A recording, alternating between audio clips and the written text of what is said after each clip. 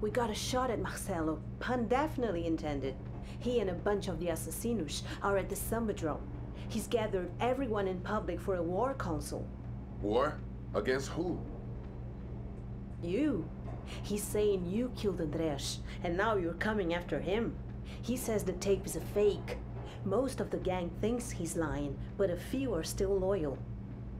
Filho da puta. Time to end this.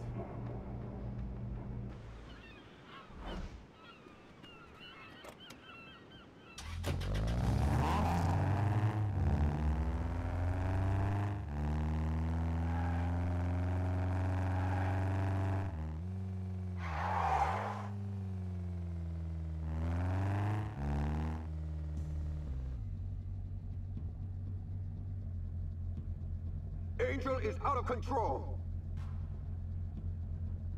That cretino didn't just kill Andreas.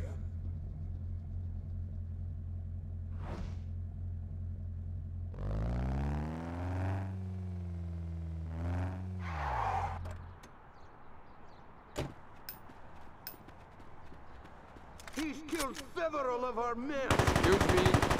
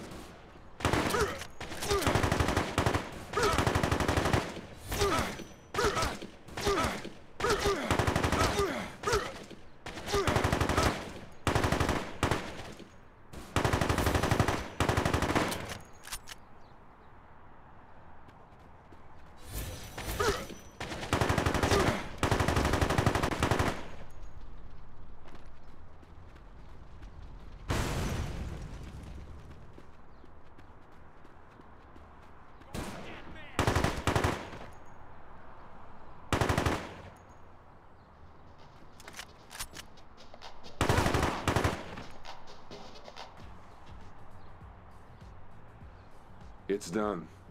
Marcel is dead. You've got your revenge, Angel. Almost.